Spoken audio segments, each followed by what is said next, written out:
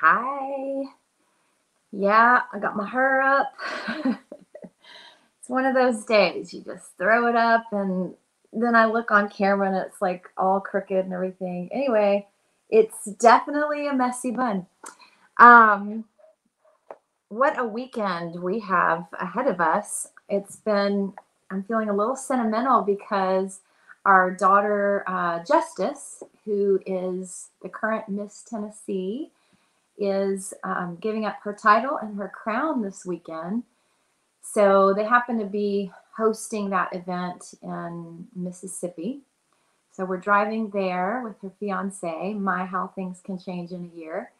Um, actually, it's been over a year. She has been the longest reigning Miss Tennessee for like 500 and something days, and because of the whole COVID situation. So, uh, I guess she's the host for um, several of the events and for the prelim and the actual finals.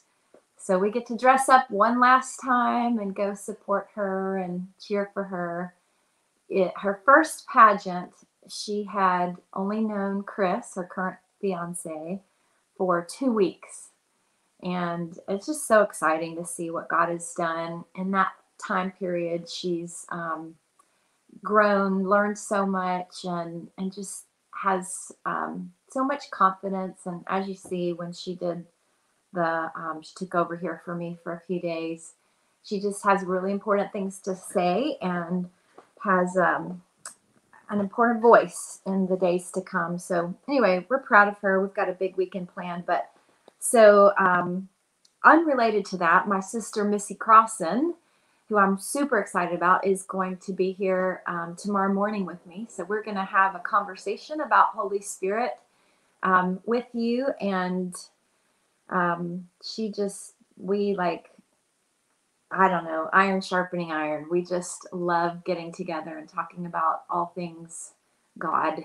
And so uh, I will warn you, it might be a little longer than normal because um, you know, once I have an opportunity to be with her on here, I'm going to take advantage of it. So, anyway, um, yesterday was just such a sweet time with the Lord together, and I hope that you um, experienced Him in a in a in an encounter kind of way. You know, we have to. What what is life without that? It's just information. You know, this is really about relationship and that's what the Holy Spirit, more than anything else, wants to facilitate is relationship between us and Jesus and us and our Father and us and and Himself, the Holy Spirit. So um I so love just delving into scripture. I'm gonna I'm not going to do a deep dive into anything that I'm going to share with you today. I just want to give you like a little taste. I want to go after this idea of um, what is at stake when we are not filled with the Holy Spirit. What's at stake when you specifically are not filled with the Holy Spirit? And I'm going to use that terminology a little bit loosely, a little bit vaguely, because as we've stated over and over again, we all have the Holy Spirit in us if we have chosen a relationship with our Father through Jesus. They come as a package deal. We also know that there, and I haven't gotten into it yet, but we know based on the book of Acts that there is a another level of infilling of the Holy Spirit. Um, but we also know that we are told again, I'll get to that scripture eventually, but we are told in scripture to be being filled. It's just kind of the same idea as the kingdom of God. It's here and it's among us, but that it's also coming in an increased measure. So everything with God is always available in an increased measure. There's always more. There's always more of Him. There's always more of Holy Spirit. And, um, you know, I'll just jump to my first example uh, Samson you know, we grow up with the story as a kid if you're raised in the church, and Samson is the one in the book of Judges who, um, you know, from I think he was dedicated to the Lord from in his mother's womb, if I'm remembering the story correctly. And from a young age, it says that the Spirit of the Lord came upon him and he literally tore a lion apart. And another time, um, he actually killed an enemy. And then we go on and learn his story. He had a, a very up and down relationship with the Spirit of God.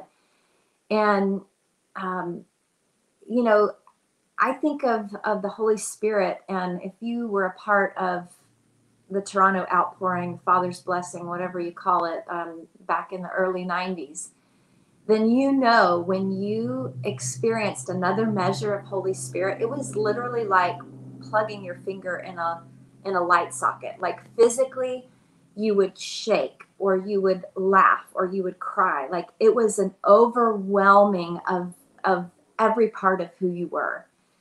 And um, so I, I think of the the the Holy Spirit, the Spirit of God, as being, you know, the being just plugged into his power, his presence, his love.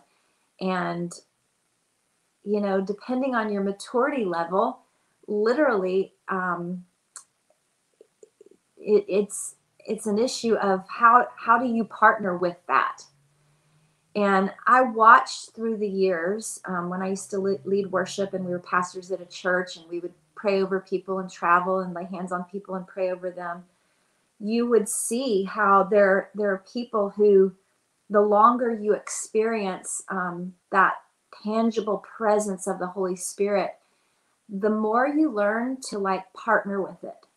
And I, I'm not really a drinker, but I'm told by people who do drink alcohol that you know you you learn to handle your liquors the expression and there are those that you know you can have a sip a drink whatever and and they are just immediately their personality changes. Someone else could could drink quite a bit and no one else would ever even know. So might be a poor analogy but the spirit of the lord is the same way. There's there's a level of maturity that comes where we I remember in worship. When when I would first start leading worship, I would feel so drunk in the Holy Spirit, like just couldn't hardly function, couldn't hardly think, at times couldn't hardly stand up. And that's great for me, but what about everybody else that I'm trying to lead? And so the Holy Spirit taught me over time how to stand. The expression is stand in the anointing, how to stand under that anointing of the Holy Spirit and literally take everything that I was feeling that was so overwhelming to all of my senses and put it through my voice. And back to Samson, he he he was new on the scene of how to partner with Holy Spirit. And um, I don't know that it was the Spirit of God that led him to tear a lion apart. Maybe it was a scenario where it was, you know, needed. I don't know that the Spirit of the Lord came upon him in order for him to kill the enemy. I just know that that was his response. Scripture tells us. Um, you can go into the book of Judges, the, the 13th chapter, the 14th chapter, the 15th, 16th. It's all in there if you want to study it for yourself.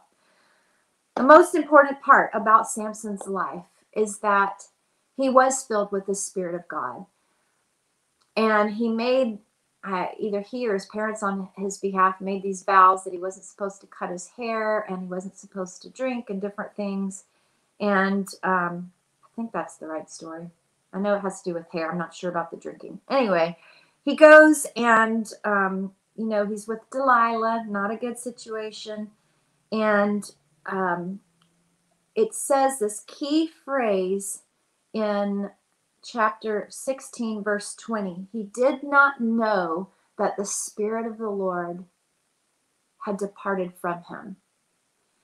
And so he's thinking, I'm doing all this, I'm compromising a little bit here, a little bit there. I'm not keeping the vow that, that I'm supposed to keep.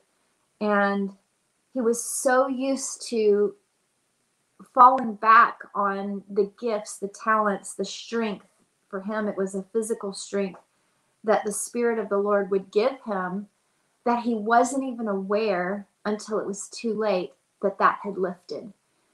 And I'm not going to go into this whole story, it doesn't end there. But that's a key thing for us to know. Like, what is at stake for the good and for the bad? What's at stake if we don't, um, if we don't abide in Holy Spirit and host the presence of the Holy Spirit? Are there people that we were created to to impact and change their lives who God will have to find someone else, you know, and, and will He? Um, what about our own lives? We will, will we fulfill the mission, the destiny, and the purpose that He created each one of us for to our fullest extent or even close to it if we're not um, remaining filled with the Holy Spirit and walking in the Spirit um, in a mature way? and and then on the on the positive side of that um, what what all could we accomplish? What could we accomplish if we partnered with holy spirit if we stay filled and continue to be filled with the holy spirit? Um, i'm going to give you some quick examples of different ones who we know to this day about them because they partnered with the holy spirit and they were filled with the spirit of god. Um, the first example are the artisans that um, Moses was building the tabernacle. And God spoke to him that there are gifted artisans who are filled with the Spirit of the Lord. Um, one specifically, Bezalel, uh, Exodus 31, verse 3 I have filled him with the Spirit of God in wisdom, in understanding, in knowledge, and in all manner of workmanship. Next week, I'm going to talk to you about the Holy Spirit partnered with the Spirit of wisdom and how they are the same. But here, that's proof of that. The Spirit of God in wisdom and understanding. So, um, creatives, those of you that are creatives, you know what it's like to partner with Holy Spirit when you create. It was the Holy Spirit that was hovering over the water when there was no form and the earth was void of life. And I believe it was the Holy Spirit of God that that helped create. Um, Jesus was the Word, um, and the Holy Spirit was was accomplishing what the Father would would dream of in the earth. I just think it's a beautiful partnership that they had. Exodus um, 35, verse 31. He has filled him with the Spirit of God and wisdom and understanding and knowledge and all manner of workmanship. It repeats it again. It's repeated several times throughout Exodus. Um, there were many gifted artisans in, in whom I have filled with the spirit of wisdom that they may make. And then it lists out all the things that they were going to make for the temple and um, for the tabernacle. It was going to be, it, it was beautiful. And it took them years and years of them daily being filled with the spirit and knowing um, how to take the word of the Lord and bring it into a physical expression in the earth that would impact countless lives um, at the time and then for all of us for all of eternity this this tabernacle that was built to specific um, very specific instructions on how to do that. So in numbers the book of numbers is all about moses and um, moses in numbers chapter 11 verse 17 God said, Then I will come down and talk with you there. I will take of the Spirit, he's speaking to Moses, I will take of the Spirit that is upon you and will put the same upon them, and they shall bear the burden of the people with you. Moses had gone to God and he was saying, I can't handle being judge of all of these people. I, my responsibilities are too great. And so God had compassion on him, and he chose, um, in verse 25, he took of the Spirit that was upon Moses, and he placed the same upon the 70 elders. And when the Spirit rested on them, they prophesied. So we know that the Holy Spirit causes us to prophesy, can cause us to prophesy or to speak the word of the Lord, the heart of God, the encouragement of God. And here it was the wisdom, the ability to judge. And these 70 elders, um, what would the lives of all of those that were there? How how did these 70 elders filled with the spirit of god how did they make a difference in that generation? It was huge. I'm sure it was profound. And the trickle down per family and per person like they got to experience the justice of God because these people were willing to partner with the Holy Spirit. And um, another example in, you know, just Moses himself. It, he, God said that he took of the same spirit that was on Moses. So we know that Moses was also filled with the Holy Spirit. And what did Moses accomplish in his lifetime? I mean, it, it's just huge what he accomplished. He brought the whole people that were in bondage out of slavery from Egypt and led them for the 40 years. What a task, what a job in the wilderness. And then we know that Joshua, Deuteronomy 34 9 says, Joshua was full of the Spirit, capital S, of wisdom. Um, and in Numbers 27 18, we're also told that Joshua, a man in whom is the Spirit, the Holy Spirit. And what was Joshua able to accomplish? What would be at stake if Joshua had not partnered with the Holy Spirit? They were literally led into the promised land by this man filled with the spirit of wisdom. And a lesser known person in the Bible named Othniel he was Caleb. Remember Joshua and Caleb? They worked together um, going into the promised land. They were the two that had the good report versus the 10 spies who had the bad report. Um, well, Caleb had a younger brother. Caleb's younger brother was Othniel. And in Judges 3:10, the Spirit of the Lord came upon Othniel, and he judged Israel. Um, it's a longer story than that, but it was an important job, very important job.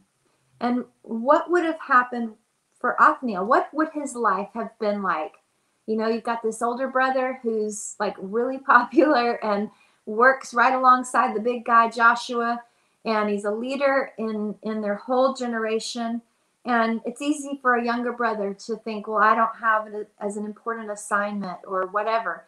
He, because he was willing to partner with the Spirit of the Lord, he stepped into his assignment and didn't just watch his older brother fulfill his he fulfilled his assignment because he partnered with the with the lord with the spirit of the lord and he was able to fulfill his assignment to judge israel um, to be a judge in israel all right um, gideon is another big one. Um, this is the last one. Gideon we know the story.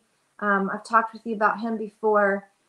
And he was the one who was frustrated. He was in hiding.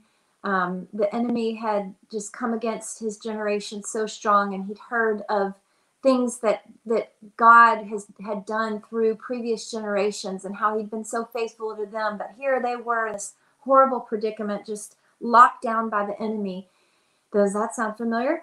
And he was frustrated, and the, the angel of the Lord came to him and said, Go in this might of yours. Well, I think his might was his frustration. His might was his ability to recognize that um, that things could be better and where is god and and notice that that that the fullness of god was not being expressed in their generation and so he cried out to the lord in his frustration and then it goes on to say judges 6 verse 34 the spirit of the lord came upon gideon and he blew the trumpet and there's so much significance in that. But those of you who love a good shofar, maybe you have a shofar and you feel at times prompted by Holy Spirit to blow your shofar, it's a real thing.